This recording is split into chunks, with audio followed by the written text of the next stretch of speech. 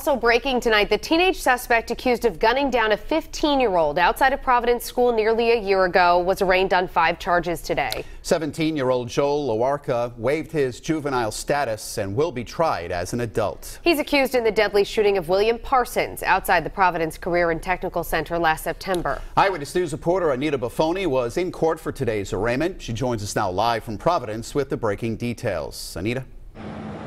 17-year-old Joel Loarca was arraigned as an adult today in Providence District Court. The Rhode Island Attorney General's office says he waived his juvenile status.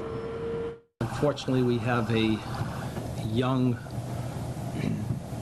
person that died as a result of a senseless gunfire. Wearing white pants and a black button-down shirt, 17-year-old Joe Loarca faced a judge today. He was held without bail.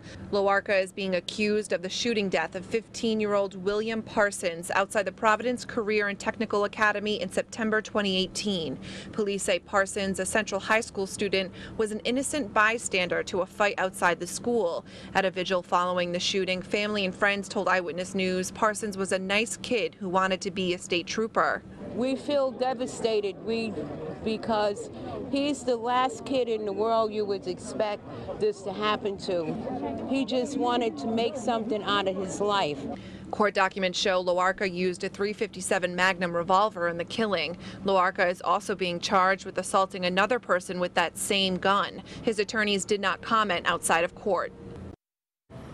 Now, Loarca is facing five charges. No plea was entered on his behalf. He will be back in court on September 10th. Reporting in Providence, I'm Anita Baffoni, Eyewitness News.